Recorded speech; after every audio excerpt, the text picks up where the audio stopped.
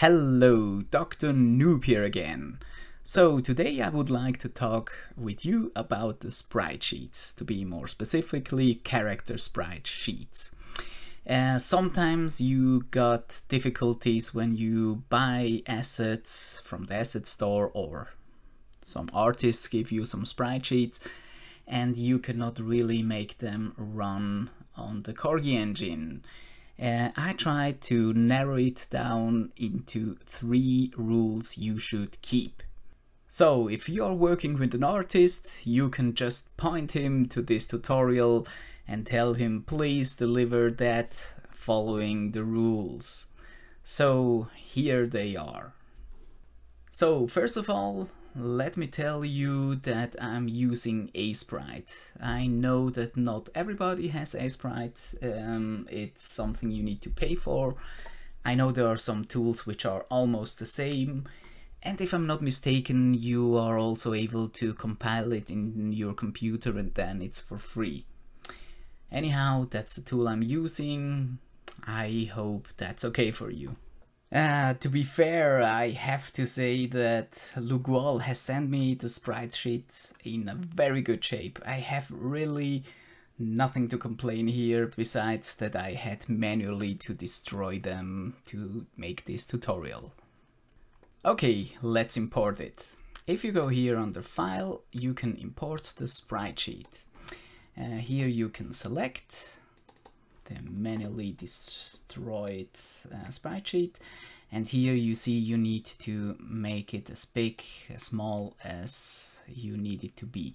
So we have one two three four. So you need to go as wide as here. So now we have one two three four. And we can import it. Let's fix the first error. The first error is you need to think about this sprite sheet that you will have in your game with a collision box. So I think this would be the collision box, right? So you program it to have it exactly in this position. The moment that you change now here the frame, your collision box would be here. And the artist has, well, because he's an artist, he has maybe put that up like it's a jump, which looks more naturally. But in our case, we don't use it that way. So we need to have it on the same um, level. So best is you take that and you move it, let's say, in such a corner. And you go to the second frame and move it to the same corner you go now to the third one and you move it to the same corner as well as the fourth one. So now it looks a little bit weird because it doesn't really look like a jump animation for us because everything is in the same level but because we are moving it with the Corgi engine it's okay. And just to be make sure you can maybe have here a little fake collision box and see if it would work with the jump animation. And yes, it would work. Very well, so this is error number one, or rule better said, rule number one. Make it on the same level. Good, rule number two is the sprite needs to be symmetric, or better said, the collider box needs to be in the middle. It needs to be symmetric. Uh, in our case, you see that this is not right in the middle of the sprite. And the issue is when you create a box collider, you can narrow it down as you wish, but there is one small thing. The Corgi engine complains if the X value is not zero. So the moment you want to move that in here, then you will have an issue because it's not zero. It's minus 0 0.03. And if you start to play, I think you will get, you see here, the x offset is not set to zero. Okay, let's look at it in the A Aseprite. So here under A Aseprite, um, well, there are different ways how to solve it. I personally use the C button here, like C like canvas, and I can make it a little bit smaller. It's way too much anyway. So uh, that helps me because now I know that this middle line, well, is the middle. So I can now move it uh, so that I can, let's say, make it this way, this way. Okay, so now I need to think about where my collision box should be.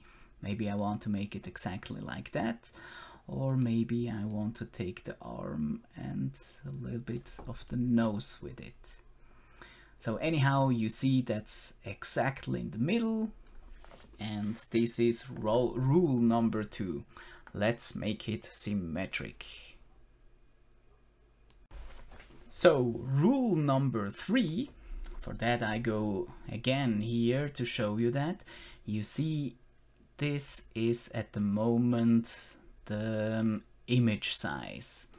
And if the image size is that big, you will have trouble if you're using like teleporter or anything like that because he takes the image size. So rule number three is make it as narrow as possible.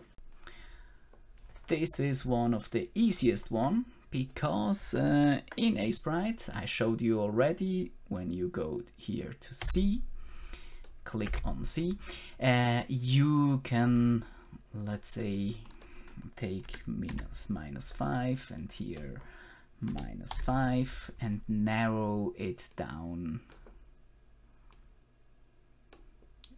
until you see you have it.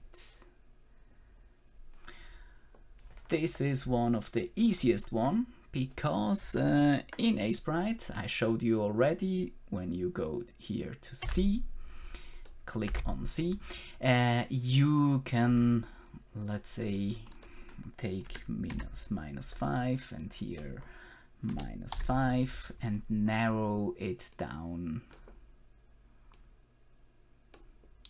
until you see you have it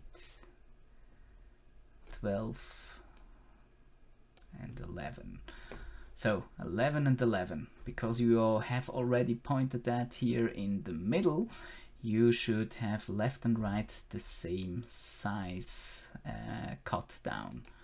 So now if I go and plane here Make sure that you are not losing any pixels. If yes, that's no problem with Aseprite. Let's say for some reason I have made it a little bit too much and I see, oh man, that's not good. I can just put it back again and you don't lose anything. Great. So Rule number three, make it as narrow as possible. But please not only on the width, also on the height. Now uh, try to find out which is the highest. Well, that's this one.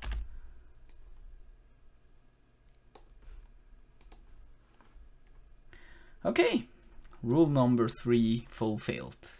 So very well, now that we have everything set up, we can export it, going here to File, Export Sprite Sheets, and you can just export it and make a save as and say something like jump corrected. So that's the best you can do at the moment, so don't forget, there are three rules. Rule number one, the position of the character should be always on the same level.